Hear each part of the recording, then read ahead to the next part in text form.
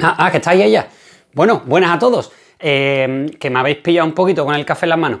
Que hoy, ¿de qué vamos a hablar hoy? Vamos a hablar hoy sobre las modalidades textuales. Y os voy a decir una cosa. Mira, existen cinco diferentes tipos de modalidades textuales y depende de la intención que tenga el mensaje que queremos transmitir.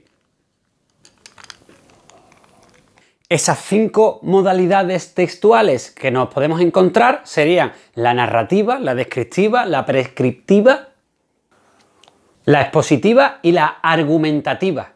Van cinco, ¿no? Yo creo que sí.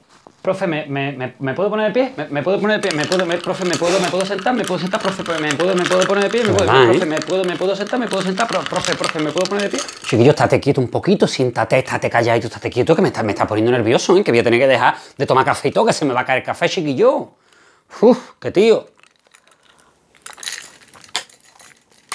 ¿Me puedo levantar sacapunta? No, ahora no se puede. ¿No ves que estamos liados? La narrativa narra. No. La narrativa. La narración relata unos hechos, reales o imaginarios, que le ocurren a unos personajes en un tiempo y lugar determinados. Ejemplo de narración, pues podría ser un cuento, un relato, una novela, una anécdota, un chiste. La descriptiva presenta los rasgos o las cualidades de algo o de alguien y los presenta de una manera ordenada. Ejemplo de descripción. Era un día nublado donde la luz no arrojaba ningún tipo de sombra. La tierra olía a mojado y se podía respirar en el ambiente la soledad.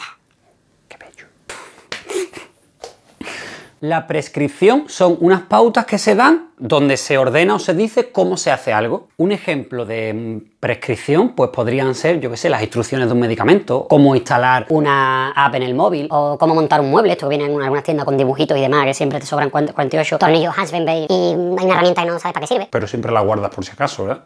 La exposición se usa para transmitir unos hechos objetivos y de manera ordenada, precisa. Ejemplo de exposición, pues podrían ser las noticias, podría ser un libro de texto. Podría ser un diccionario, una enciclopedia, texto expositivo. Claro. La argumentación sí... Ah, Argumentación. Y ole. no, no me está gustando esto.